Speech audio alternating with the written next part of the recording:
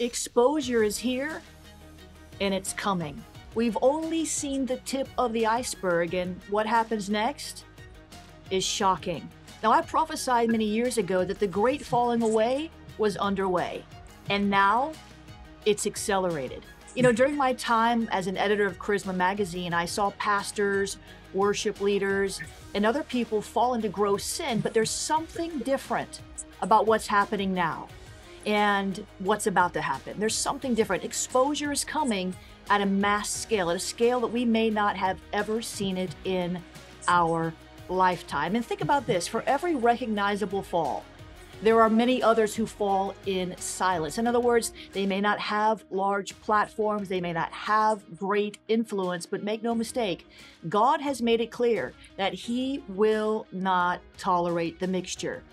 You know, Cindy Jacobs recently prophesied, and I'm sure many of you have heard that word, uh, but I want to read you just a little tiny bit of it, and I want you to listen really closely before we get into the meat of our broadcast. I'm going to bring in my good friend Scott Neri here in just a minute to help me to navigate this topic. Here's what Cindy wrote Judgment has begun at the house of God and will increase, and there may appear to be a severity in the cleansing of the church. There will be no wiggle room for those who think that no one sees. This judgment is to clean the house in order to give the church the authority in prayer to avert what's coming.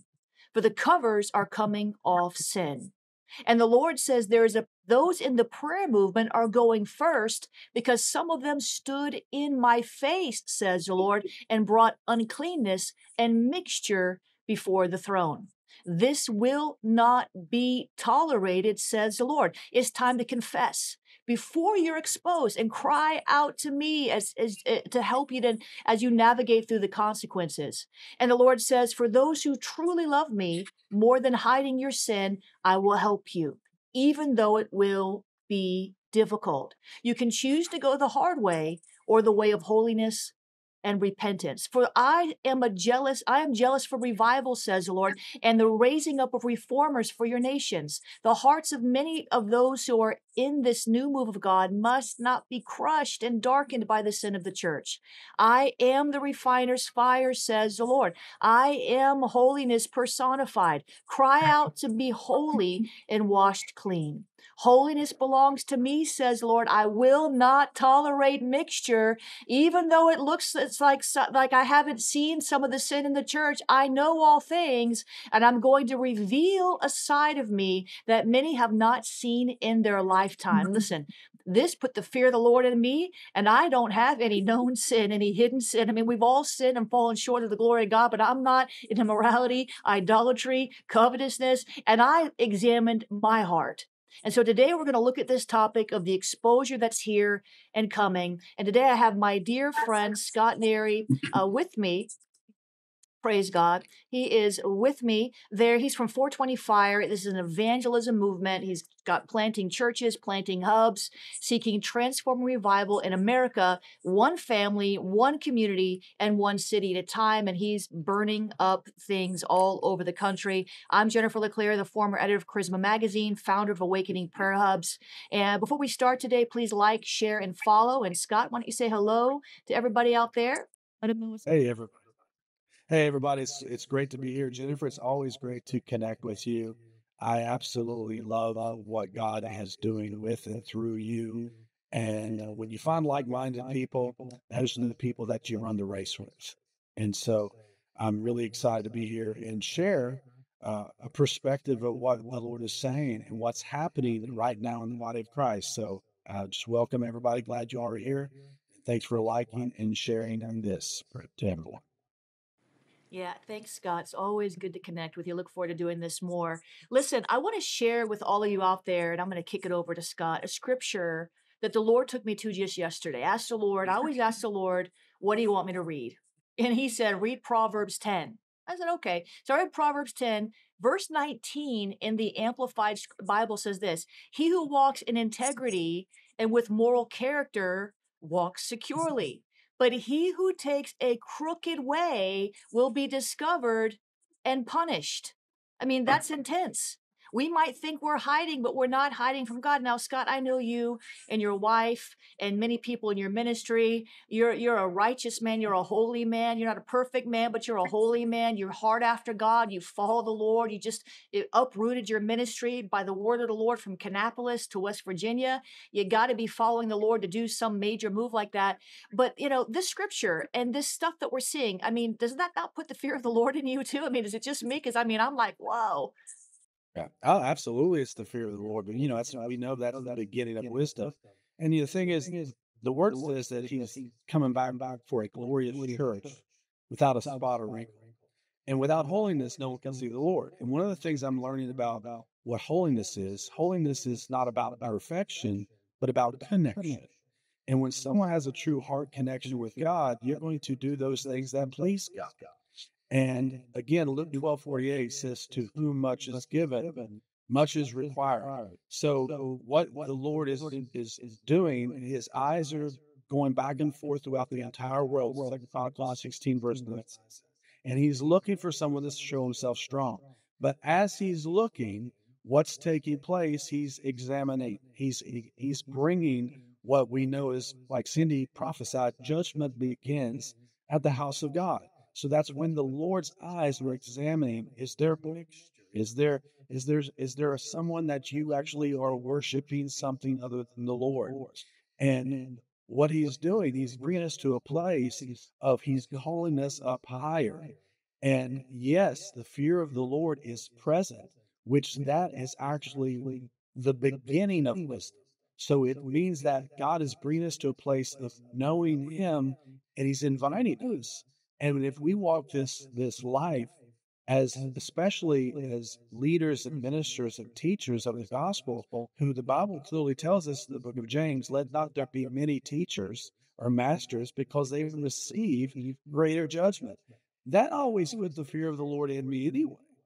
And so you can't live a life following God if you can't take ground for the Lord if the enemy still has ground in you. And if the enemies have ground in you, that's a place that the Lord is, is you haven't made Jesus Christ king. And that's where I'm saying, Lord, search my heart.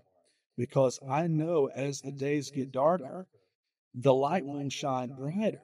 But as the light shines brighter, the Lord will expose. And He exposes things and because He's calling us to a place where you get closer to me Come boldly to the throne of grace. Confess your faults towards one another so you can be healed. And that's again, he's calling us up higher. How can we make a difference in the world if we're not different from the world? And that's what he, I'm, i believe that the Lord is really clarifying and doing right now. Now. Wow. Yep. That's a good word. That is the word of the Lord. Jesus. My Lord, there I am. Listen, I want to, that, that's the word of the Lord, you know, but I, I need to ask you this question because this seems so clear to me. It seems so clear to you. And yet we've just seen a major scandal in the prayer movement. I believe the prophetic movement is next. The Lord gave me a word at the beginning of the year, and He said that the enemy was trying to burn down the gates. And I didn't really know what He meant fully at the time. But then couple days ago, the Lord showed me, I think I was on a broadcast, a private uh, meeting with some of the prophetic elders, and the Lord showed me if the enemy can burn down the prayer movement or compromise the prayer movement, he can wiggle right into the prophetic movement because the prayer movement, the, the, the intercessors are gatekeepers. And when the gatekeepers are hurt, they're wounded, you know, they're exposed, uh, they are they are troubled they are they are walking away from the lord some of them now that's hurting the intercessory prayer coverage that the prophets need prophets need prayer you know yes. and, and and and and so I, I, see this is happening and i'm very concerned about it as a prayer movement leader but I look back to this issue in uh, Numbers 32 22, and Moses said, and he was talking about the tribes that, you know, didn't go over with Israel, they got to come back and fight. But he said, he said, Your sin will find you out. And that's yes. a principle. Your sin, your unrepented sin, your justified sin will find you. And if you repent, it's under the blood. If you've been restored, it's dealt with. Not everything needs to be massively exposed at a large scale. But if you seek the Lord and repent and find help, it won't be. That's what Cindy's word said. Repent now before the exposure comes. I mean, he's giving us a chance to repent. So your sin will catch up to you. Then, then we see this similar issue in Isaiah 59, verse 12, says that our sins testify against us. So we've seen this to be true. We remember when Jimmy Swaggart fell, when Jim Bakker fell. We've seen, you know, different ones. I'm not going to go down the list. Fall. Certain pastors die of cocaine overdoses in hotels in New York City. We've seen all this. As editor of Charisma, I covered all this. So here's my question to you, Scott, because I'm sure a lot of people have the same question. Do we just not believe it? Or is, you know, scripture is so clear about exposure, scripture is so clear about judgment beginning in the house of God. You know, do we just not believe that, or why do we keep seeing these these major ministers fall? I mean, do they not believe it? What's is are they deceived? What's going on here? Right. Well, I, I believe what's really happening. You know, again, he's coming by for a glorious church without spot or wrinkle, and even the Lord said in Luke eighteen verse eight, "The Son of Man returns, will he find faith?" So that shows you there is going to be not everybody that says Jesus is, is Lord is making Jesus Lord. So what's happening? He's cleaning and clarifying. The Lord explained to me, he says, Scott, there's two types of people in today's church. I said, What is that, Lord? He says, Well, you know, in, in Matthew chapter 7, there's this group that says, Have we not prophesied in your name? Have we not cast out devils in your name? Have we not healed the sick in your name? Have we not performed wonders in your name? And the Lord looked at him and says, Depart from me, for I never knew you. Well, well, they're doing it in the name of the Lord, and they're probably have amazing a big following. But they're they're more concerned, concerned with, with the glitter and the glamour. And the Lord says, I, I, I never even knew you you practice lawlessness. Now, he says that those who practice lawlessness, lawlessness really is lacking fathers and mothers. Wherever you lack fathers and mothers, you get into lawlessness because you're not accountable. And then there's another group of people that the Lord said in Matthew 25 that these people came up to him and he heard the Lord said, When you were naked, you clothed me. When I was hungry, you fed me. When I was in prison, you visited me. And they looked at him and says, When did we do this to you? He says, When you've done this to the least of these, my brethren, you've done it unto me.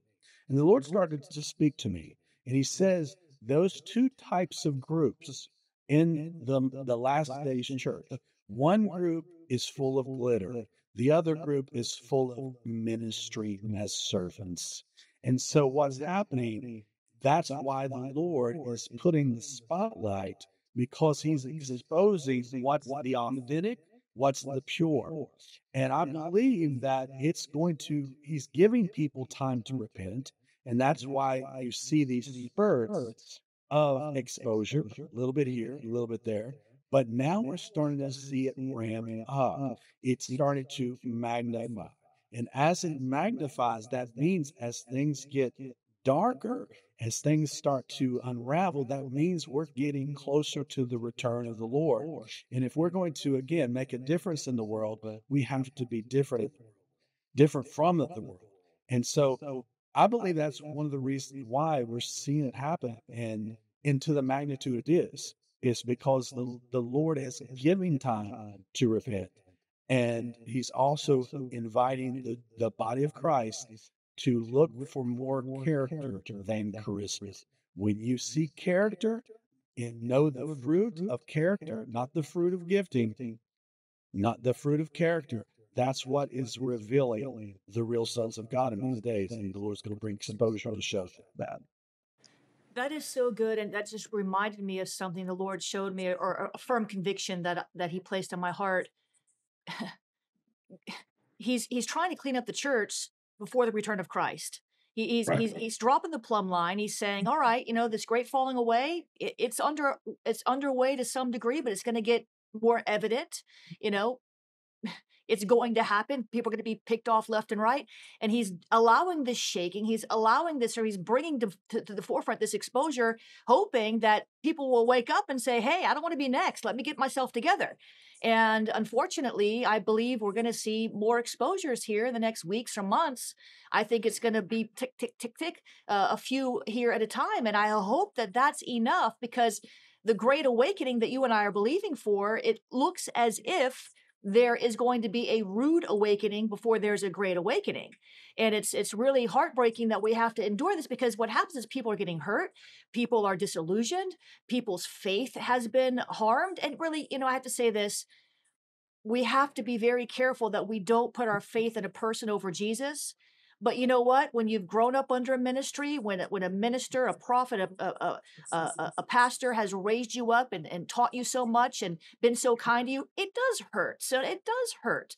And so, you know, but God is merciful and God is gracious. If any of you out there, and you you've been under a ministry that's you know been exposed and and you know you've been hurt my heart goes out to you and we're we are praying for you but there's there's going to be more but i want to read this next scripture got a lot of scripture today because I think we need the word of the Lord in times like this.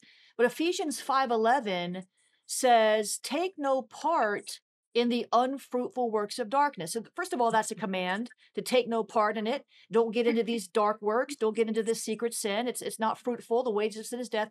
But Scripture says instead expose them.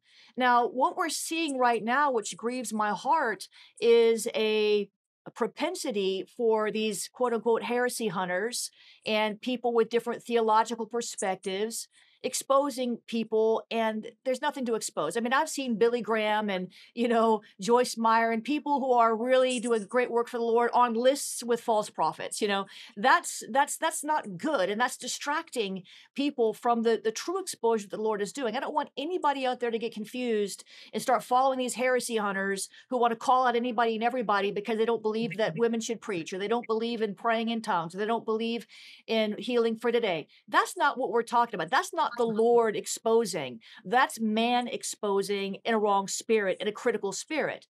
And even now, and some of you have seen this, and, and I'm not trying to throw shade at anybody, but it's very grievous where we have in the church world these rival ministries, and this one's mad at this one, and this one's biting mm-hmm. this one, and this one's devouring this one, and this one got a word of the Lord to expose this one, and this one's commenting on the post, and this one's commenting back. This is childish, is foolishness. You know, that's not what we're talking about. That is not what we're talking about. But, but, you know, at the same token, now we have the conundrum because you see it in in uh in Moses's life how he got drunk, he got wasted, he was naked in his tent. I mean, you know, the vineyard was the and his one of his sons saw him naked and went and told the other sons. And we see what mm-hmm. happened. The two sons took a garment, backed up backwards into the tent to cover his shame. And, the, and when Moses woke up, the son that exposed him was cursed and the sons that covered him were blessed. So now mm-hmm. some people get very confused, Scott, about this because they think, well, I can't expose a leader. I can't do this. I can't do that. I don't want to be cursed. Touch not God's anointed. So there's a time to expose and there's a time to cover. So you can you talk a little bit about, you know, when do we cover and when do we expose? Yeah, that's that's that's a great question because that's something that many of us have not haven't understood because you can't bring correction unless you love. You know, God corrects those he loves.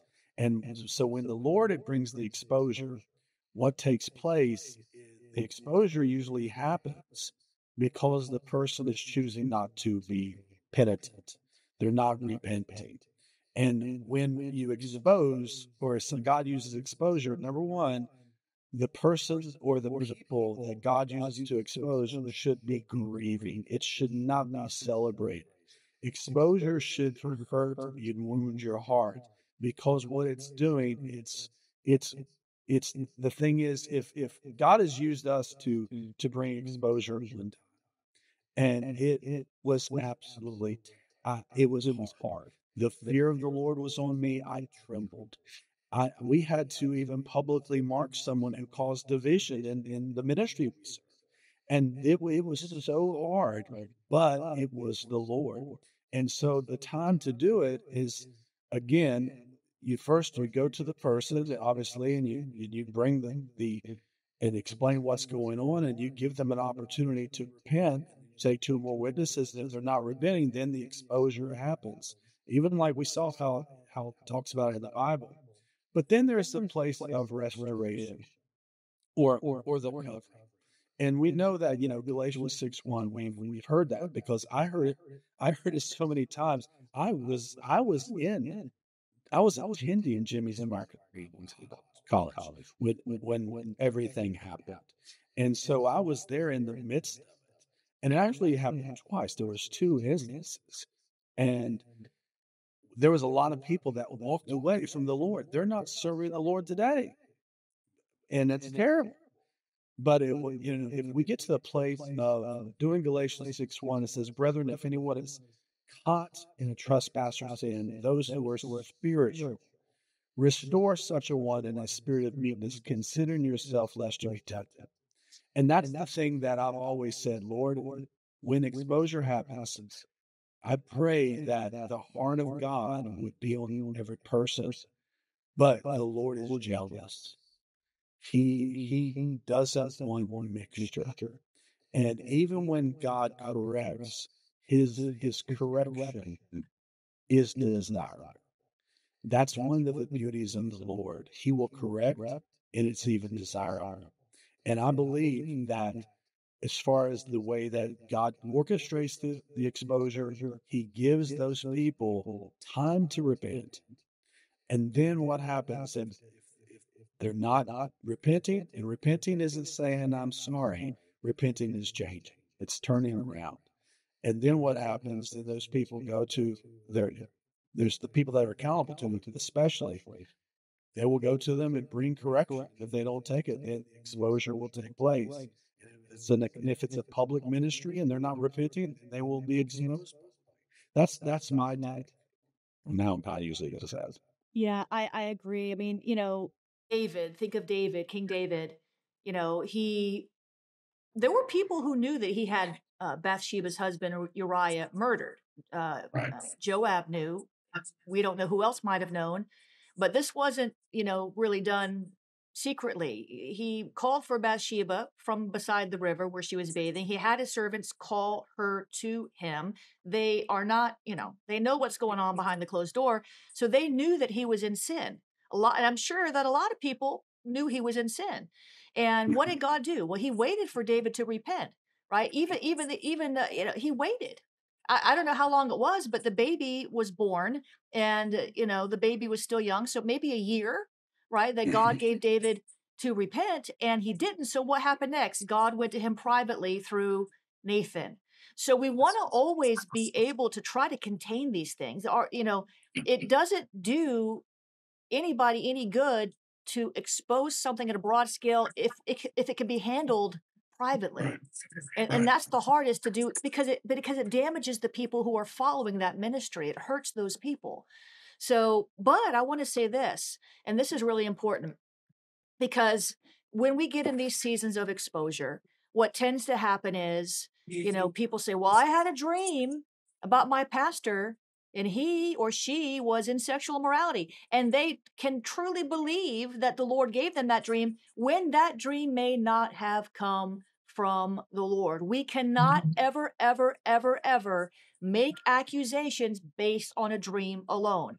Even if the dream is accurate, many of you out there need to hear me. Even if the dream is accurate, is 100%, and you've got five people sharing the same dream, you still need some physical evidence. Those dreams should lead you then to pray for exposure. We had an incident in our church uh, last quarter of 2023, and there was this one particular woman. She'd been with us for a long time, and she had come against me once before, repented, and um, you know, we restored her. It was a difficult time. There was a lot of shaking in the ministry. A lot of people. My father died, and different different people were passing away. So we were all distracted. This woman entrenched herself. Well, it came to the point where God was trying to bring her to repentance. People started having dreams about her. People started having visions about her. The Lord started speaking to people about her, and these people came to us privately as a leadership team and said, "Wow, we hate to tell you this. Rebuke us if we're wrong. We don't know what to do, but we keep having these dreams. And, have a vi-" and these were independently. These people weren't talking to each other. These people weren't even close friends in the church. They were individually coming to us. And I said, "Wow." I said, "This is really, really bad." And so, what do you do then? I can't go to the person and say, "Well, you know, five people have had dreams, visions, prophetic words that you are a Jezebel." You know what? I can't do that. What do you do? You begin to pray and ask God, Lord, bring this person to repentance or expose the evidence. Because if, if someone is hurting other people, then that's hurting the heart of God. And the longer you allow that person to continue in that state, the more damage they're going to do. So it's mercy at that point. When when God begins to reveal this to so many, it's mercy that it be exposed. I know it doesn't feel that way, but here, listen, it's even mercy to the one who is exposed because that Yes. might be the only way they repent. And God doesn't want them to die in this sinful. Now, that we could debate whether you know if you die in sin, you used to. I believe that you're saved by faith, you know, through grace by faith. However, there does come a point when if we don't stop the sin, we can be given over to a retro a reprobate mind, and our conscience can get seared with a hot iron, and then we're candidates for the great falling away. So, so sometimes God will expose things before the person gets so far down the road that they just walk away from Christ, because we've seen worship leaders walk away from mm-hmm. Christ, become atheists. Mm-hmm. So I, I had to say that because some of you listening, you're prophetic. We have a prophetic audience, and people are going to begin to, to learn things, see things, have visions, dreams. You have to then pray over the dream. You can't go on social media. There was a young man, and you know him, I won't say his name, and he had this dream one time and said, Oh, I had a dream. Mm-hmm. And the dream was if Mike Bickle and Dutch Sheets, so this person probably knows who he is, going to get mad at me, but I'm not exposing you, brother. Uh, if Dutch Sheets and Mike Bickle don't don't come, I saw them bowing to each other and forgiving one another and repenting. And if they don't do this, we're never going to see a great awakening. Well, that dream was not from the Lord, you know. And I happen to know, you know, both those men at the time, they didn't have any beef with each other. So this was not so. But you can't just go by your dreams. Your enemy can use you to to to bring harm to someone's ministry through your dream. So anyway, Scott, did you want to add anything to that? No, that's it. Like a lot of times people they're more led by their dreams be- be- because again, you have to be led by the Spirit of the Lord. And even if your dream is sh- showing something, again, just like the Moses, I've had many memories of these prophetic dreams about certain leaders in the body of Christ. And I'm not going on social media and starting to blast that, you know, because of the thing is, it's like this. The Bible tells us in the book of James to be quickly hear and slow to speak. And that means that we're always called to wait on the Lord so our words carry your weight.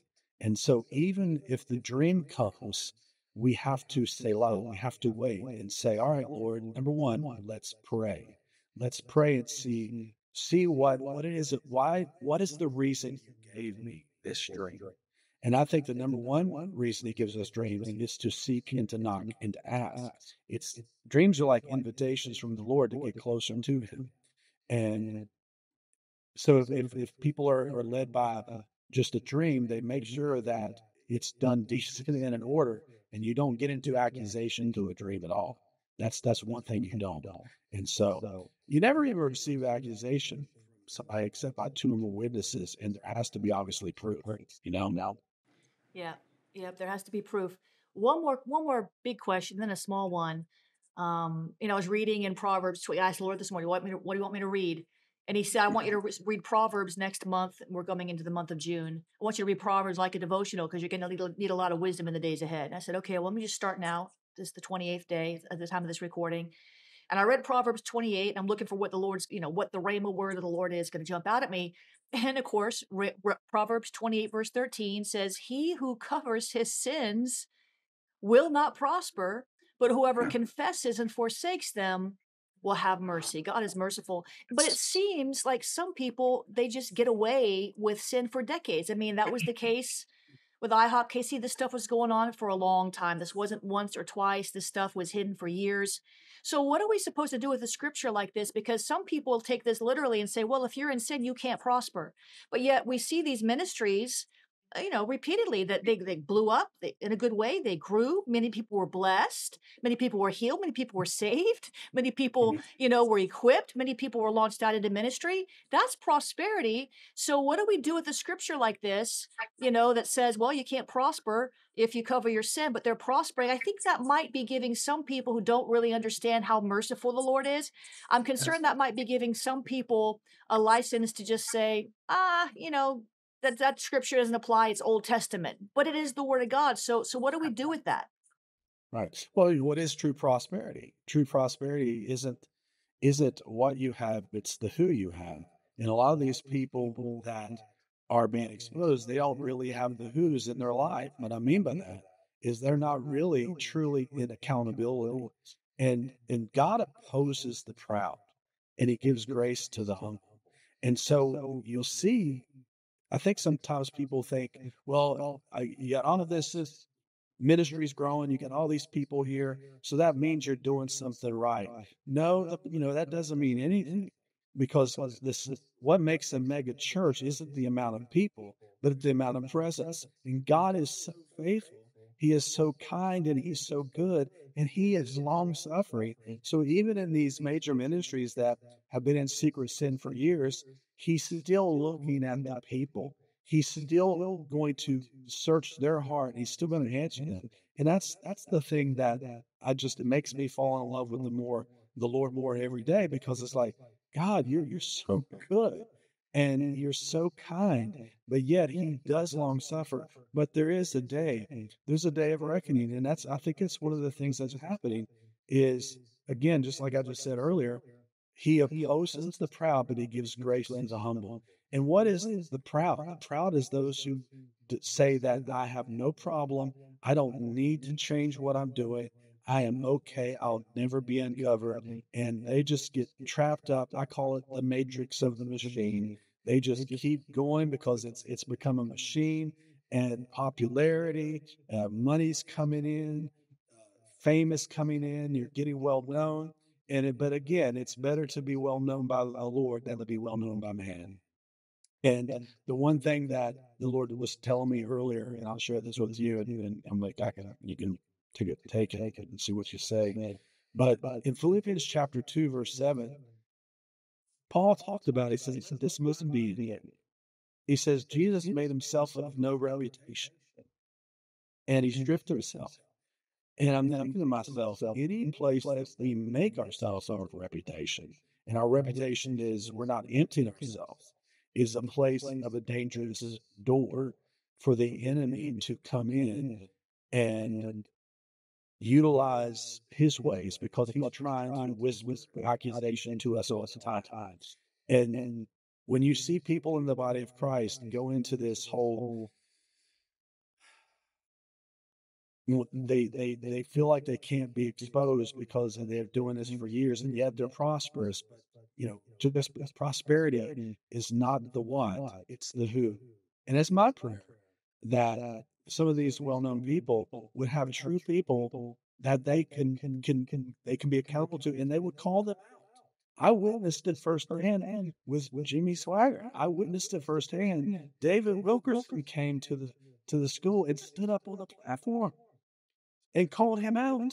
And I'm like, oh my gosh. And it and he, he was told to get off the stage. It was the craziest thing. But the fear of the Lord was was so present but what what's happening? This this um, awakening. The, the, awakening happens first with the root awakening, and you're seeing the true clarity in, the, in God's cleansing things, and and you're going to see people walk with more integrity, more character, and they're not concerned with being known by man, but being known by the Lord. And by that, you walk in a purity that surely truly shows that you are a church that doesn't have a spot on wrinkle. And that's just my thought for that. Yeah, that's really, really good. I agree. You know, it's, I have had the pleasure of, in the last year in particular, to fellowship and get to know people who have done mighty great work. And, and nobody in the American church would have probably heard their name and yet they're making a bigger impact than you know a lot of the people that do have a big name and so it's not about your name it's about his name amen the name above all names it's us decreasing that he might increase and i just i, I we're, we're, you know scott and i are praying and i'm going to ask scott to pray it here in just a minute but what i want you guys to do if you have questions about this topic i'd like to do a follow-up and leave your questions down below so that we can thoughtfully and prayerfully help some of you who really are hurt, you're suffering. Maybe you're aware that there's sin in your leader's life and you don't know what to do. We'd like to be able to address it because this is really a critical moment. This is a really a history making moment in the body of Christ. It really, really is. We're going to see some more exposures. They're coming and they're coming soon. And for all the big, you know, exposures, there, there's other smaller you know churches whose pastors are also in sexual sin they're also being exposed you don't have to have a, a big platform to to to hurt people it's all relative and i just in this season of exposure we want to navigate this with humility we want to navigate this with prayer and you know we are not above anybody or better than. Mm-hmm. You know, we are searching our hearts. You know, Scott and I had a long talk before we started this broadcast, and just we do this. We're we're both working out our own salvation with fear and trembling. We are not the judge. But if we can be of service to the body at a time like this, be a, a voice of hope, a voice of uh, reconciliation, a voice of healing, we want to do that. So I, would like to do a follow up and maybe talk about how we heal, especially, you know, because you had that situation there with Swaggart. I've been involved in some things where, you know, a leader it wasn't public, but he fell. And you know, it, it's it's painful. And I think that there is a, a, a Christ centered way to navigate the pain and and not become bitter or jaded or walk away from Jesus because that is the enemy's idea. He wants people to turn away from Christ and and and, and God just wants to hold you and love you and and and, and heal you. So we're going to be back and do another one. But but Scott, any final words? And then would you pray for the people who are listening? Absolutely. You know, one thing I want to tell each and every one of you: when a man or woman fails, you know, just know this: that Jesus didn't. That's that flesh. flesh. But the Lord hasn't failed you. And so when you're when you get wounded and hurt by someone else, the Lord sees your heart. He sees your wound, and He wants to, to bind up that wound. And He wants to bring redemption to a wound. He wants to bring restoration to your heart, and He wants to restore even those who may have failed and are truly penitent and they're ready to give their lives fully to Christ. But I want to bless you all and pray for you. So, Father, in the name of Jesus, we thank you, God, that you are a God that heals that you are not shocked, you are not surprised by anything and everything because you've seen the end before the beginning. So you know everything that would happen. So I pray, Lord, that for each and every viewer, Lord, that you would just bring continual healness, healing to their heart and wholeness to their mind. Lord, that they would continue to see the person of Jesus. And Lord, Lord, bring redemption all of this. And even all those who fail. Lord, we pray that they would have restoration to their heart, restoration to their mind, and restoration to their relationship with you before ministry. May they be restored to you fully before they even minister again. May you be their ministry. So we bless you, Lord. We thank you for Jennifer. Thank you for what, what you've called to her. I, I bless her. I bless the work of her hands and all the people around her. Lord, continue to bring the hidden ones together. This last day remnant, this last day people that truly, truly shows that a mega church is the amount of presence and not the amount of people. We bless you. We thank you in Jesus' name. Amen. Still good. Uh, guys, if you are hungry to see souls saved, connect with Scott. He's got a great move, an authentic move of God It's called 420 Fire. Is 420fire.org? Yes, ma'am. It's yes, 420fire.org. I still remember. And he's a real father in the faith. He equips, he's hands on.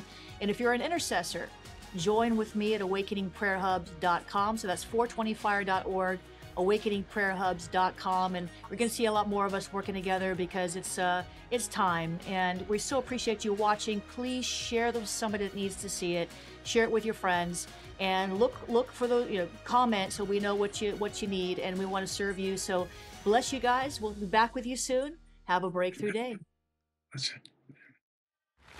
based on a startling encounter about a prophetic showdown coming to the body of Christ, where true and false prophets will be exposed, discerning prophetic witchcraft will equip you to be on the right side of the truth. This book exposes the supernatural divination deceiving spiritually hungry believers. Discern the signs of true and false prophets and prophecy. Avoid prophetic con artists. Escape charismatic witchcraft. Recognize witches and psychics posing as prophets, and much more. Open your eyes to the divination trying to ambush your life with discerning prophetic witchcraft. Pick up your copy wherever books are sold.